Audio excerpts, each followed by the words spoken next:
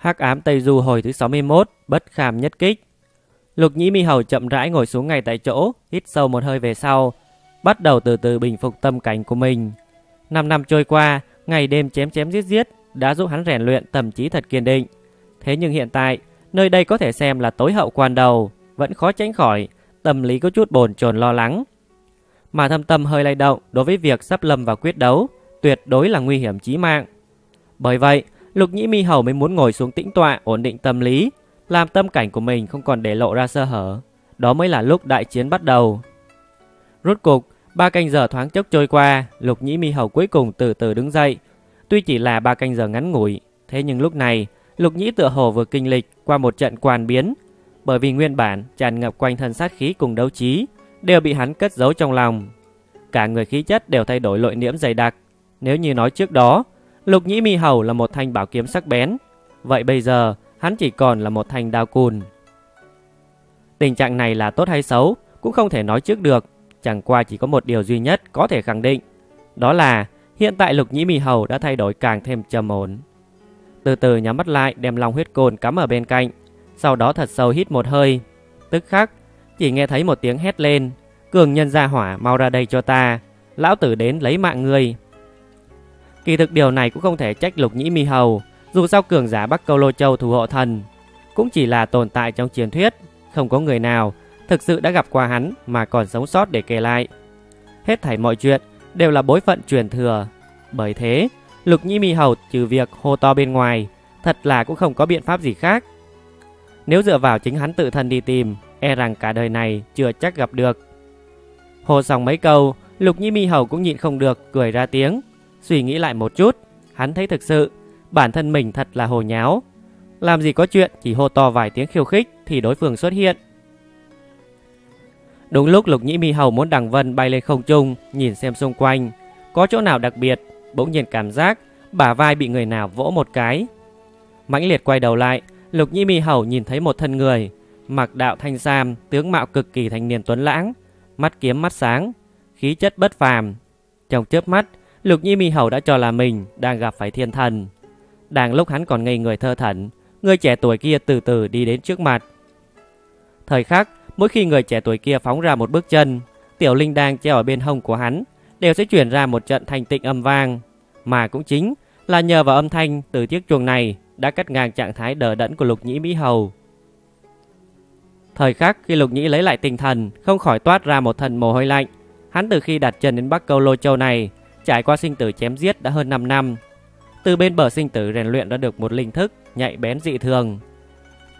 Bình thường, khi có một sinh mệnh tiếp cận chính mình trong phạm vi hơn trăm trượng, bất luận kẻ đó có tỏa ra sát khí hay không, Lục Nhĩ cũng trong nháy mắt phát giác được.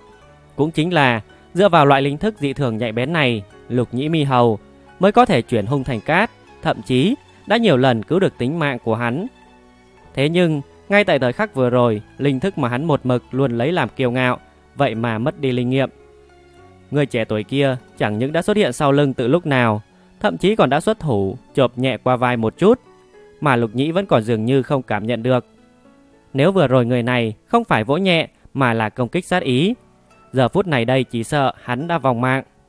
Chết, không thể chết, ta tuyệt đối không thể nào bỏ mạng.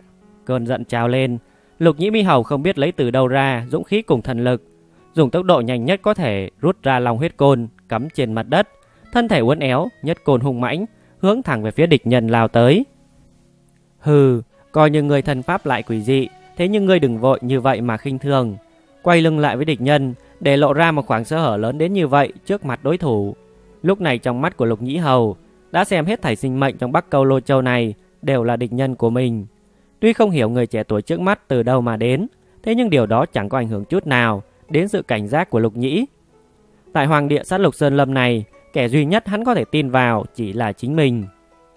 Mà lại Lục Nhĩ Mi Hầu vốn có lòng tin, hắn đã vận hết đại lực trong mình chầm đến một gậy, đối phương coi như không chết cũng sẽ trọng thương. Thế nhưng, thời khắc khi long huyết côn của Lục Nhĩ miễn cưỡng đâm sát đến người kia, hắn vô cùng hoảng sợ phát hiện, người trẻ tuổi vậy mà không biết từ lúc nào đã xoay người lại. Hơn nữa, còn là một mặt cười híp mắt, duỗi ra một đầu ngón tay. Sau đó, một long huyết côn cực kỳ có lòng tin của Lục Nhĩ thì cứ thế đã bị người trẻ tuổi kia dùng một đầu ngón tay đỡ được dễ dàng. Ngay tức khắc hắn đã mơ hồ cảm nhận thấy, vừa mới một bổng tứ này giống như không phải đang đánh tới một người, mà là đã đâm trúng một tòa đại sơn to lớn nguy nga. Còn hắn chỉ là một cành cây khô, miễn cưỡng đập vào ngọn núi lớn, thật là không sao lay truyền nổi.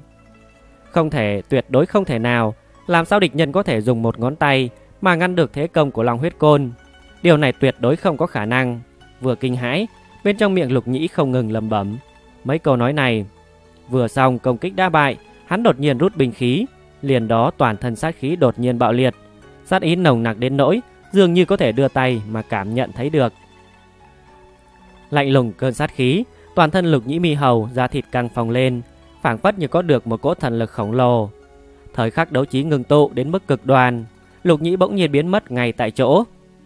Khi hắn xuất hiện trở lại, thân ảnh đã ở giữa không trung, đồng thời song thủ nắm chặt bồng tử, giơ lên cao. Tức khắc lòng huyết côn ngang nhiên nện xuống, thế công như Thái Sơn áp đỉnh, tuyệt đối có thể đem cự sơn đập nát thành bột mịn.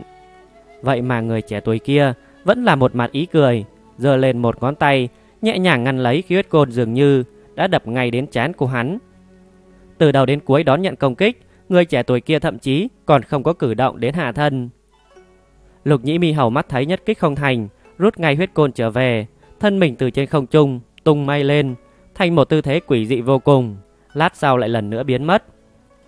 Lần này hắn xuất hiện trở lại, đã đứng ngay bên trái người trẻ tuổi kia, lòng huyết côn, hướng xuống chân phải của địch nhân tức tốc đập xuống.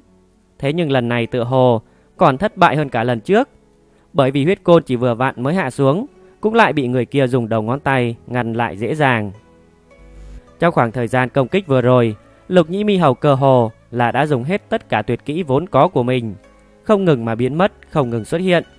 Thế nhưng bất luận xảo trá quái dị công kích đến thế nào, tất cả đều không ngoại lệ, bị đối phương vẹn vẹn dùng một ngón tay ngăn trở lại. Rốt cục sau đòn thế vừa rồi, Lục Nhĩ Mi Hầu đột nhiên nhảy lùi lại mấy bước, sau đó đem long huyết côn cắm trên mặt đất, miệng lớn thở hổn hển. Người đã đánh xong rồi ư, giờ đến phiên ta. Lục Nhĩ sau mấy đòn tấn công thất bại còn đang thở gấp, chưa kịp định thần. Trong nháy mắt, người trẻ tuổi kia vừa rồi chỉ một mực chống đỡ, đột nhiên thay đổi, lao thẳng về phía mình. Lục Nhĩ Mi hầu nhất thời kinh hãi không thôi. Không có lẽ nào người trẻ tuổi khủng bố trước mắt đã muốn xuất thủ. Hôm nay có lẽ phải táng mạng nơi đây, thật là không thể cam tâm. Còn chưa tận mắt, nhìn qua một lần kẻ được xưng tụng là mạnh nhất tại Bắc Câu Lô Châu đã phải mất mạng. Xem ra chính mình vẫn là quá ngây thơ. Nhìn thấy đối phương cứ từng bước một đi tới, Lục Nhĩ Mi Hầu bỗng cảm giác sát ý bạo ngược trong mình bấy lâu nay đột nhiên tiêu biến mất. Thậm chí, ngay cả chấp niệm trường sinh bất tử đều đã giảm đi rất nhiều. Nhất thời, trong thâm tâm của hắn sinh ra một tình cảnh vô cùng quái dị, có lẽ chính là bi ai. Tâm lý thật là bình tĩnh, những khoảnh khắc từ lúc xuất sinh cho tới nay cứ như những thước phim lần lượt xuất hiện lại. Từ khi còn là một tiểu hầu tử vô ưu vô lo, hiện tại giờ phút này, đôi tay không biết đã nhuốm máu của biết bao nhiêu sinh mệnh.